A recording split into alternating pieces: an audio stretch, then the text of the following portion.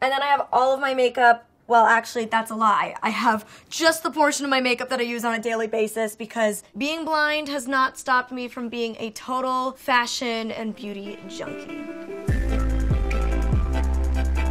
Hi, Allure. I'm Molly Burke, and welcome everybody to my beauty space. Come on in. So this is my bedroom, and somebody once told me it was like the set of a 90s girl high school movie, and that for me was a total win. This is my crazy animal wall. My brother compared it to like a serial killer who took a stuffed animal from every one of his victims. I like to think I just never grew out of being four. John Mayer all of a sudden like has this in some of his Instagram stories. And I'm like, who did it first? Who did it better? Debatable. When I was four years old, I was diagnosed with a rare eye disease called retinitis pigmentosa, which causes the progressive loss of vision. So by the time I was 14, I ended up losing the majority of my vision, and I'm now considered uh, about totally blind. Like all disability, it's a spectrum, and actually about 90% of blind people have remaining vision. So in my case, I see a little bit of light and a little bit of shadow. For example, if somebody was standing in front of a really bright sunlit window, I can like see the outline of them because of that contrast and the blocking of light. And lots of glitter. I see lots of glitter. All the glitter. So now I want to show you my beauty spaces and how I've made them work for me. Let's go.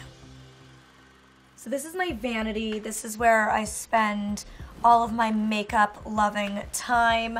You'll notice it doesn't have a mirror. I don't need a mirror to do my makeup, so instead I get this like fun color changing sequin wall and neon signs. I see light, which means I can see sequins and glitter, which is really the only things I need in life. I'm missing so much visual intake during the day, my brain like craves it. So all of these things that I filled my environment with help give my brain that happy, good endorphin feeling that you guys get from like seeing the world around you.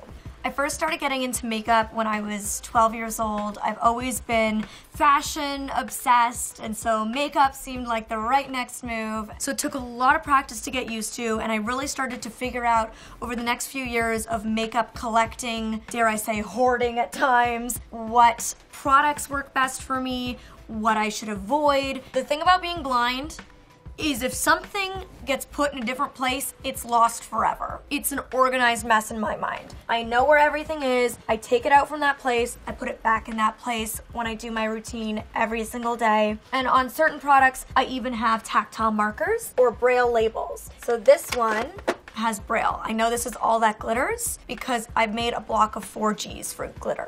It's all that glitters. I love brands like Too Faced that do a lot of texture on their packaging and a lot of fragrance in their product because it's just like another fun way for me as a blind person to enjoy the cosmetic. Um, and basically when it comes to using my palettes, I memorize where shades are. For a long time growing up, I, I, wasn't really confident enough to play with lip color, but once I started to become confident, lipsticks are definitely what I have the most of. I keep them in a color order. Each row has kind of a color theme. Back row is brights and bolds. Mid row is kind of purples and nudes, and then front row is peaches and pinks. If I ever am confused as to which color is which, I'll ask a sighted friend, a sighted minion as I call them, my sighties, or I can use an app on my phone and I can just point my phone at something and be like, hey, random human, what is this thing?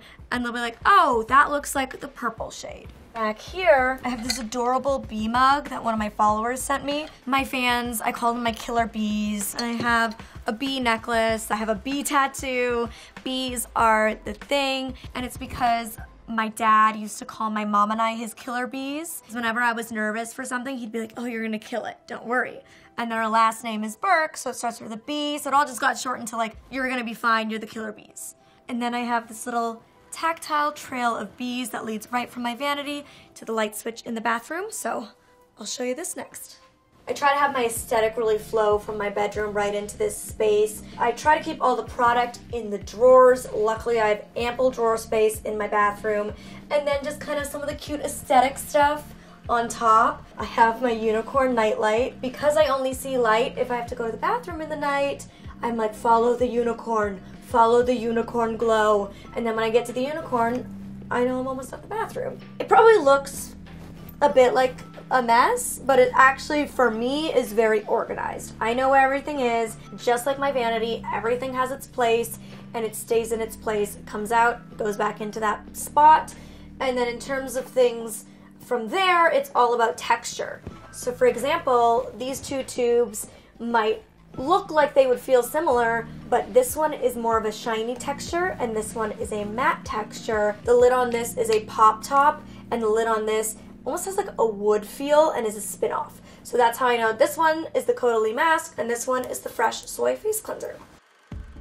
So I want to show you a little bit of my beauty routine. Usually when I'm doing my makeup in the morning, I'll have my laptop, playing some Netflix, my coffee, and that's just totally focused, zeroed in on my beauty products. I first really got into makeup when I was 12. I went home, I told my mom that I was really interested in playing with some makeup. She took me to a MAC counter. She got me professionally color matched, had them pick out all the products for me, and then it just became a matter of playing and practicing, listening to beauty tutorials on YouTube, which has just been building and building since then.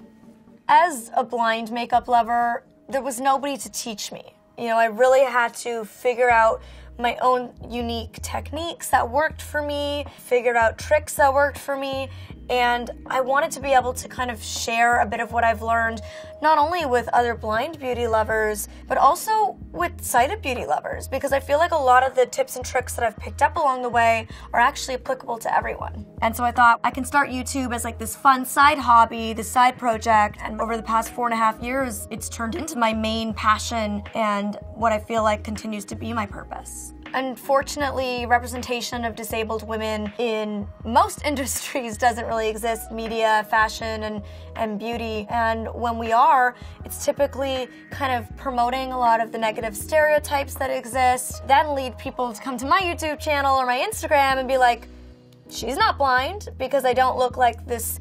You know, I'm not wearing the dark sunglasses. My eyes look normal. I look like a typical 25 year old woman that you would see on the streets disabled people are shown in a really negative light. People almost think we should be like really unaware and almost reliant on others and incapable of, of doing things for ourselves. But I went through years of, of specialized training.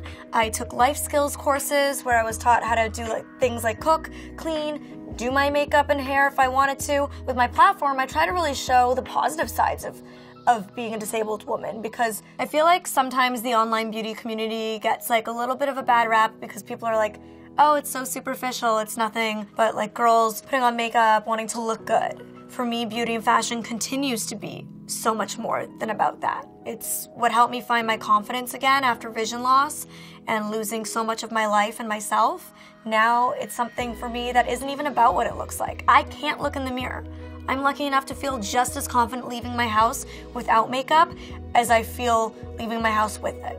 It's about the art, the creativity, the fun, the experimentation, and and really the ritual and routine of self-care that I experience every morning when I sit here with myself, my coffee and my my Netflix and I just have that time.